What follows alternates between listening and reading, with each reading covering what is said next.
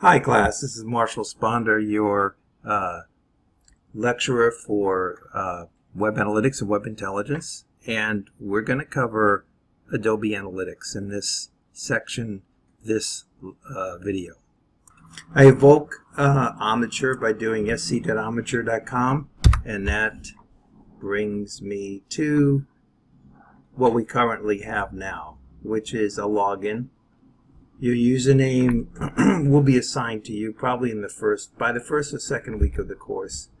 Uh, I have my password all in here, that's great. Uh, it's usually Omni123 in lowercase. and we're always pretty much uh, going to be seeing something like this when we start. When you first get uh, your permissions, you'll be asked to uh, like check off a permissions form. So you'll do that first. and this is where you're going to see your reports. Now I have something I think that was set up here. This is always the reporting suite you're going to be working with. JJ Esquire OAI, uh, JJ Esquire Baruch AAI. This has got current data. These other two are old instances. They don't have updated data. And if you see a reference for me asking you to use them, ignore it and use this one and use current data. As you see, if you um,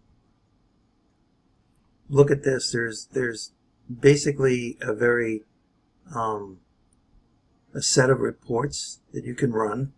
We'll, we'll start with key metrics. I think it's key metrics is the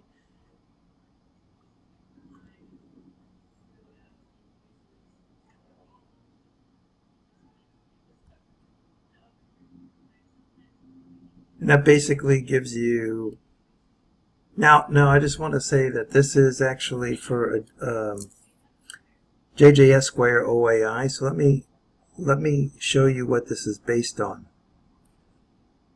There's a site called JJ Esquire. It's not a real site. I think it's maintained by Adobe just for purposes of this course of the, the of the training instance of Adobe Analytics. It doesn't really work. I think you can go one level down. Uh, it just shows you what the website that the analytics is based on is looks like. But if you can, you can, you can't even really click on stuff. I mean, if you if you try to actually do anything here, it's not actually gonna gonna work. Uh, you can click on a couple of links and go to the second level pages. Uh, you can't buy anything on this site, um, but at least you can kind of see what they look to. If you say, I like, uh, uh, if you actually click on anything beyond uh, the third level, you might be able to get to something. If you try to actually add something to the cart, uh, uh, I don't think you can you can add anything to the cart. Uh, you can't put in a, a, credit card. No, actually, let's see. Let's update cart. Um, and uh, I don't think you can do anything else. I think if you try to order something, like fragrances. And um, I think oh, so far it seems to be working.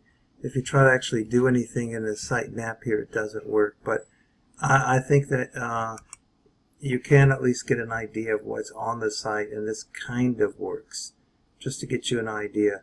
But as you see, if you actually try to do anything here or try to make anything work, you'll find you won't be able to a lot of the reports have these kinds of uh, line readouts. Uh, and in this case, you can um, see page views, visits, unique visitors. If I wanted to add something to a report, like another metric, most of the reports allow me to do that. Like if I want to add orders to this, or um, I can do that. Up to, I think it's up to 10 metrics. And then it'll, it'll, it'll add this to the reports and I'll have the number of orders. Um, I want to export this report, I believe I can um, You can you can print the report. I wouldn't recommend that. You could link to this report. Uh, I believe you can export the report as well. Um, see what else they have up here. Um, yes, download here. And you can also create uh, a reportlet from this to add to a dashboard. Let's see what else we have here. You can see a lot of, um, if you look at your navigation from your reports menu, oops, what do we get here? Yes. You can see all the different types of things you can run.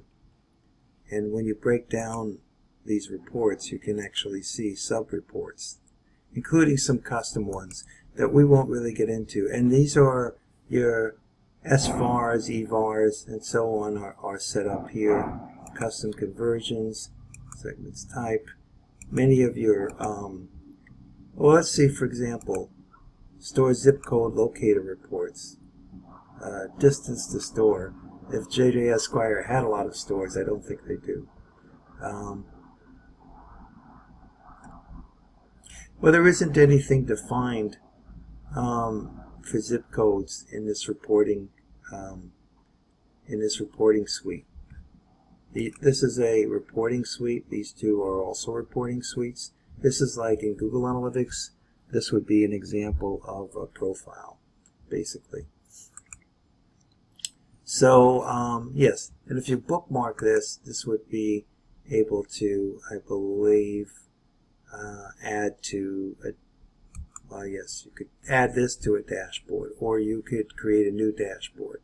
Distance, I'll, I'll just, uh, I don't seem to have a, do I have a new dashboard? I do have one called marketing. I'll just, uh, uh I'll just uh, create new, and then I can add that to the dashboard. Um, there's a lot of reports in here. Um, and then there's also various other things that you can do. You could set up alerts and targets. Um, all of this keeps on changing. That's why I had a set of videos that were not um, uh, fully um, up to date with the new changes of the interface, and they've been changing this interface. But let's just bring up a report. The uh, pages report seems to be a good one. There's a sections report in some cases I ask you to do different reports, but the ideal thing for you to do would actually be to run every single report that you can run um, and try every single thing you can. I mean, that would be one of the things we cover in some of the reports is subcorrelations and subcorrelations.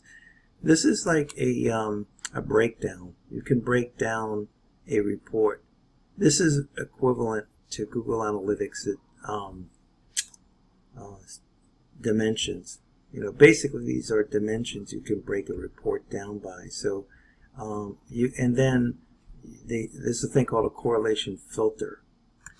Here you can actually create uh, very specialized reports. You can look at everything by, say, a specific mobile device, or and you can add multiple ones. If you add mobile device, select item, and then you have to select an item, and the item would be let's just say that.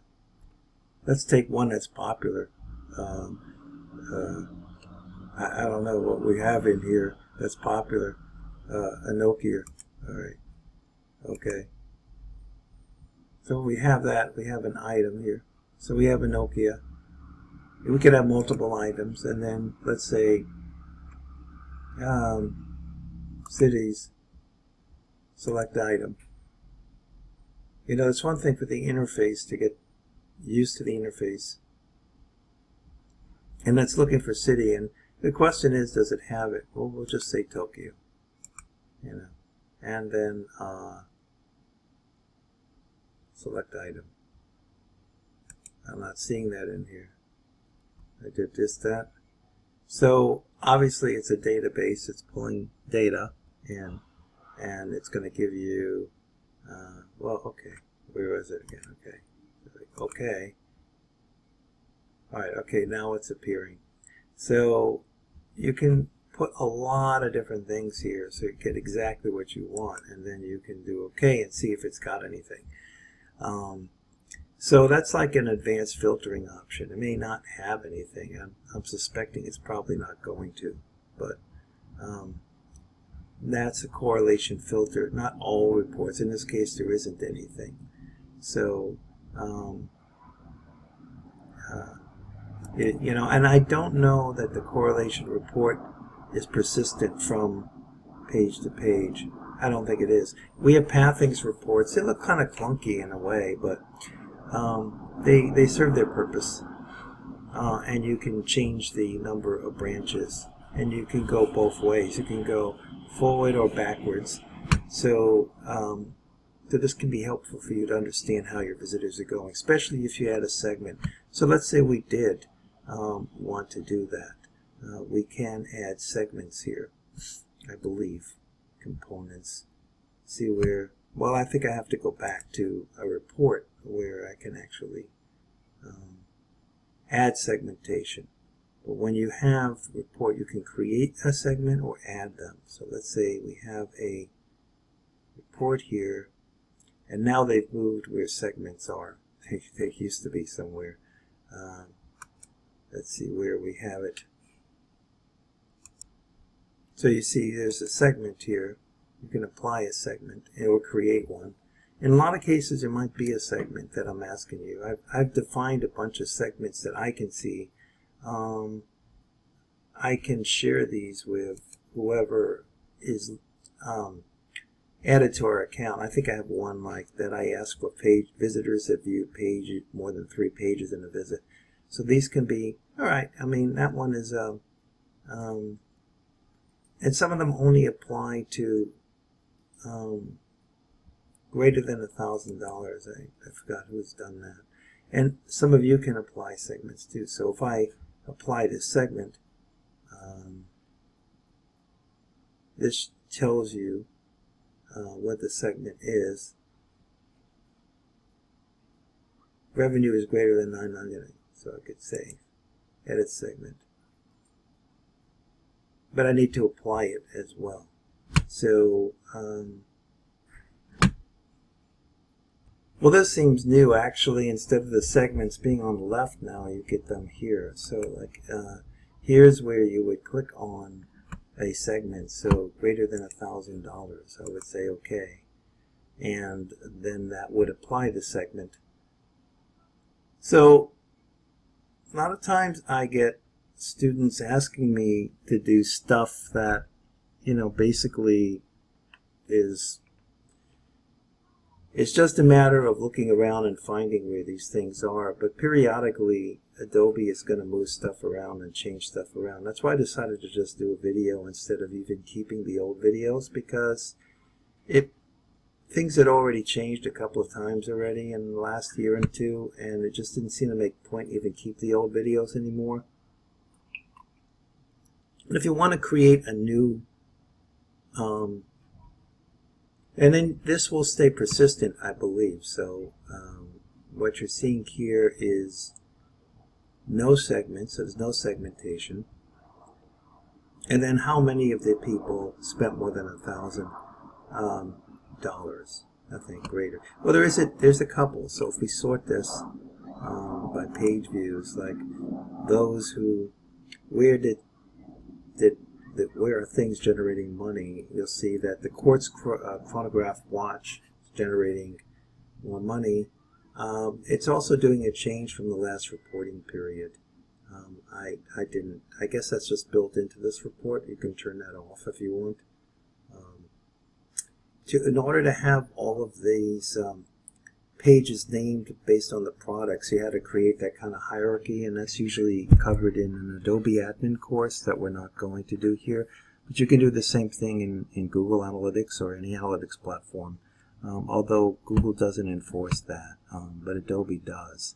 So you, if you're not going to spend all the kind of money that Adobe uh, has on the report, and also you can get this um, to show more pages. You can go up to 200 pages um, and get it to show all those pages, which is usually enough for what one needs, and you can export. So I think I've covered that.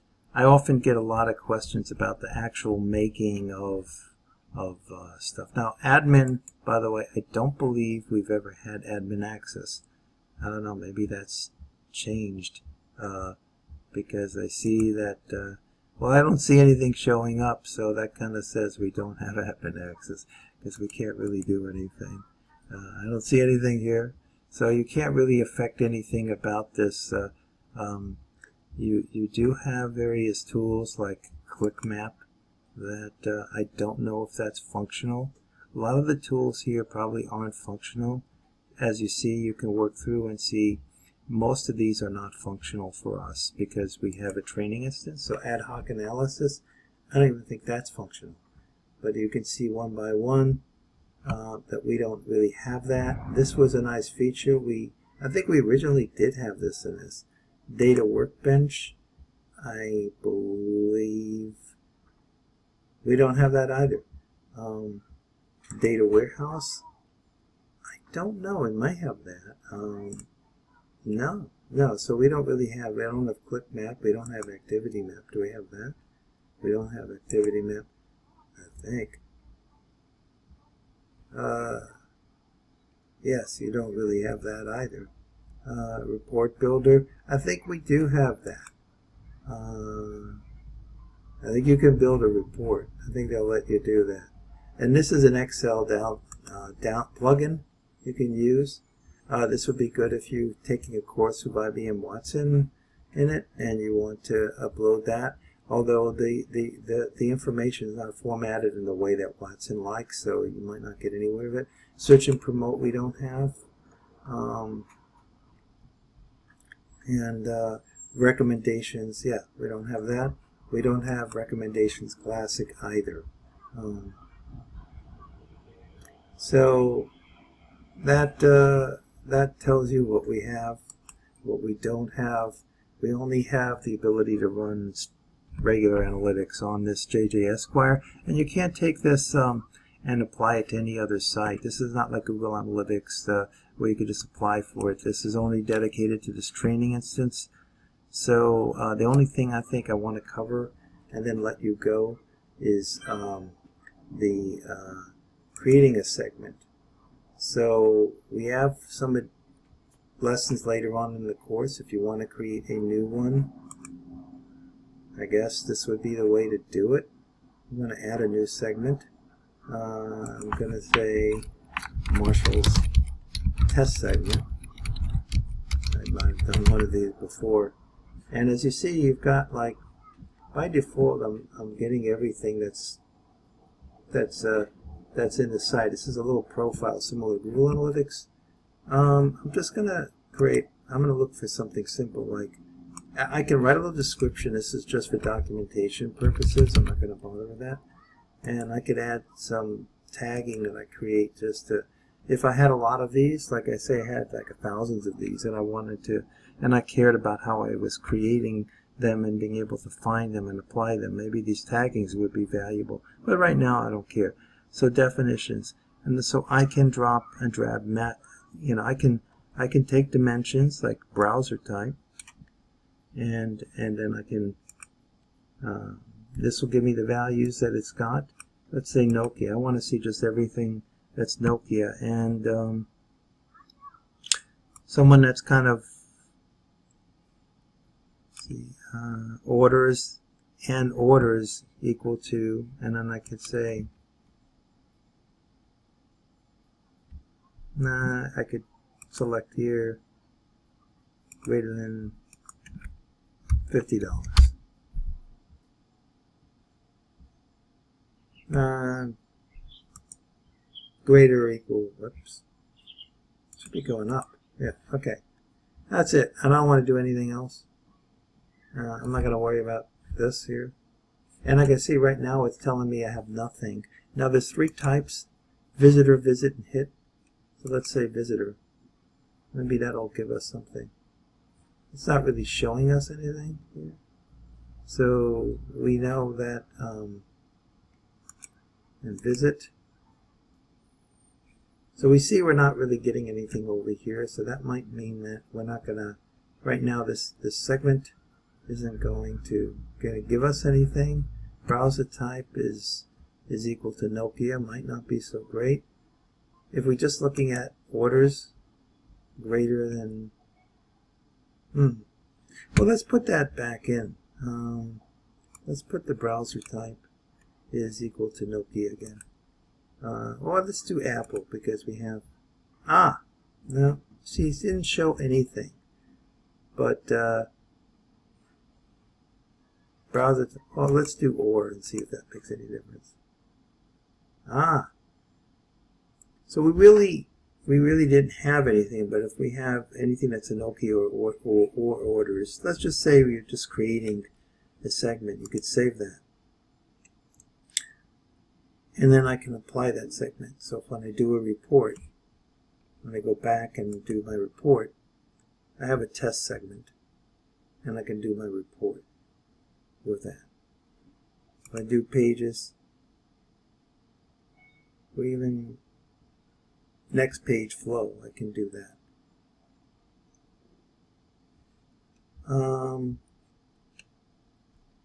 the pages here. Oh, it still kept that, so I can get rid of that. Um, you see, I could reset this, or I could add this, or let's just add another one. Um, it doesn't seem like it wants to do more than two segments, me and me but uh, I could uh, add another segment here.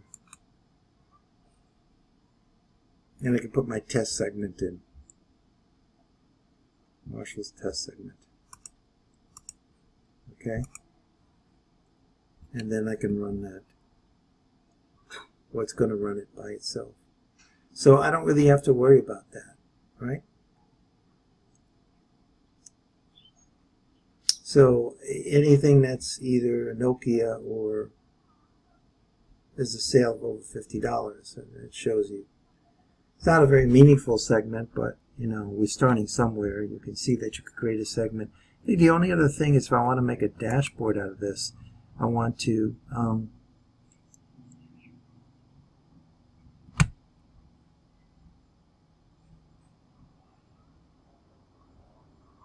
I'm going to create this into my marketing report. And then you see here's the marketing dashboard. I can actually look at my marketing dashboard. It was a, you can create a dashboard. And it actually can be as big as you want.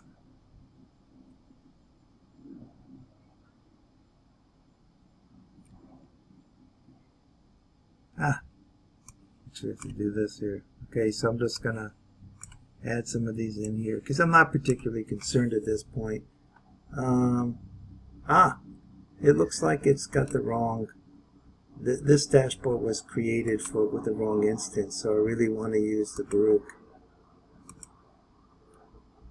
And then it should show something. Uh, you see, it has to be the Baruch one. Because this is current data, and, and the others do not. You see how you have to do that? So, um, because I created this a while back. You just do that with all of these. And you can get what you want. You can keep on adding them down. So this is your reportlet. And so you can save this. You can save your changes. There's other report. Is there's something called targets we ask you to create. Um, and usually in that assignment, I want you to kind of fill this out. Uh, uh, I have one here that I've, and many students have created them. Let's say create a new one. Um, add new. So you'll create a metric and a target. So basically, um, when I say add new, it'll bring up a form, and usually I want a screenshot of the form that's filled out. Um, I'm not sure seeing where it is here that's coming up. Why is it coming up? It's just waiting, I suppose, for um, Omniture to bring up the form.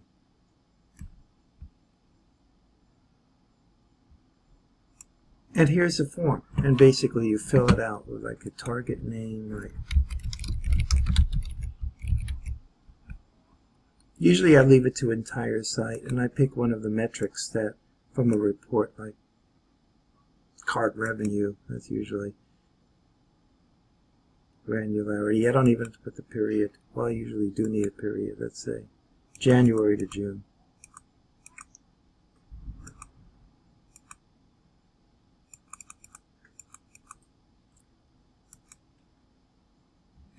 And then uh, basically, I don't think you have to put anything else here. You can